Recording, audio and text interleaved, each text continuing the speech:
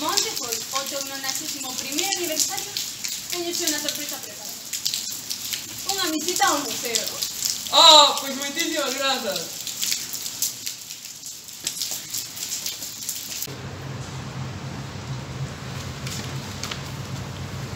Abó, pon aquí que este é o sexto edificio do Museo de Pontevedra, que construían en 2013 e que conta con obras de todos os períodos históricos, e con autores como Manuel Quiroga, Castelao. Pero por que todos os nomes? Porque na miña época as mulleres dedicábanse a outros labores. Por exemplo?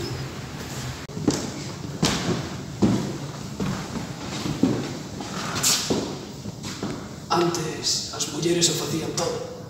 Lavaban a roupa, cuidaban os seus fillos, facían a comida, levaban o peso da casa nas súas costas. Por exemplo, eu lembro cando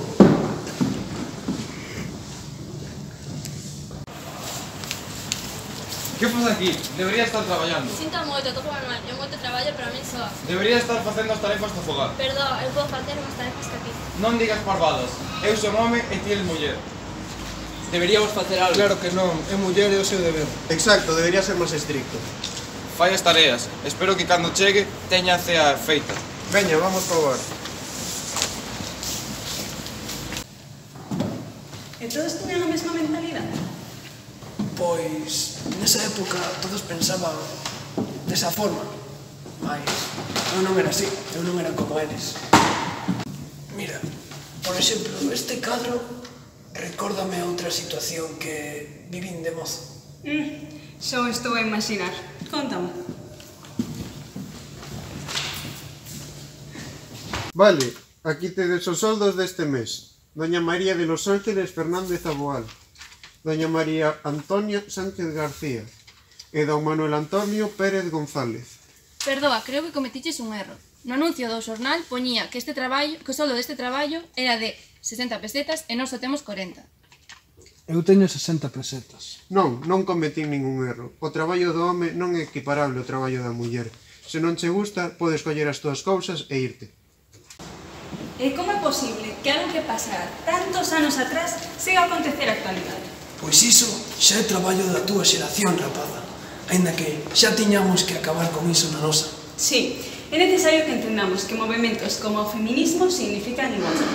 Totalmente de acordo. Cada vez as mulleres collen máis importancia en todos os ámbitos, por exemplo no artístico. Véñenseme nomes á cabeza como María Antonia Dans ou Menchulamas. Nestes momentos lembro unha frase de Deuxío Novoneira. Dicía, o home pode ser outra cousa, ti pode ser outra cousa.